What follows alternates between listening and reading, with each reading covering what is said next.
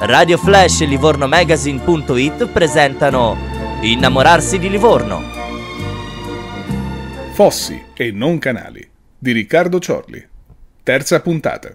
Nel 1603 vengono terminate le opere preliminari al Fosso Reale, vengono demolite le palizzate di contenimento della Fortezza Vecchia e all'Arsenale Medicio Forte di Porta Murata, e in questa maniera l'acqua del mare penetra nel tracciato appena realizzato, andando a mescolarsi con quella proveniente dai canali dell'entroterra come i Riseccoli, il Cigna e il Navicelli.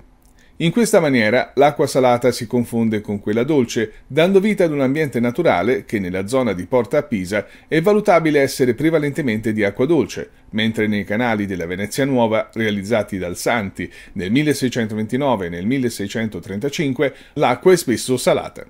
Nell'Ottocento il fosso reale viene ridimensionato, costruendo ai suoi fianchi grandi muraglioni che restringono l'originaria ampiezza portandola da 30 metri a circa 20 mentre la profondità passa da 2 metri a 4,30 metri.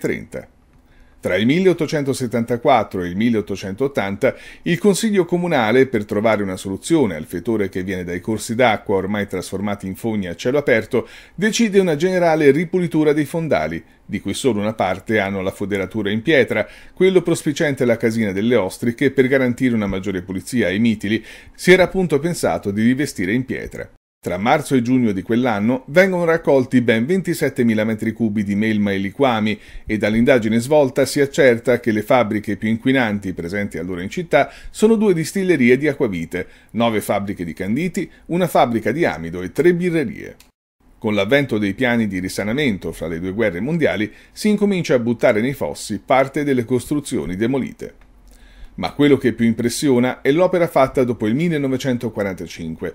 Gli apripista alleati gettano nel fosso insieme alle macerie non solo degli ordini bellici, ma anche quello che restava di un caccia inglese abbattuto dalla contraerea che si trovava in Fortezza Nuova. Il risultato è stato che la profondità del fosso, nonostante le note operazioni di scavo fatte dalla draga da cui ha avuto origine la ben nota vicenda delle teste di Bodigliani, continua ad essere scarsa, specie in vicinanza degli approdi. C'è inoltre da tenere presente che non essendoci quasi più apporti dai canali immissari, il corso d'acqua vive della scarsa comunicazione con il mare aperto. La sorte del fosso reale potrebbe essere quella che sta avendo il canale dei Navicelli, iniziato a scavare con singolari idee in Venezia. Rimanere a secco.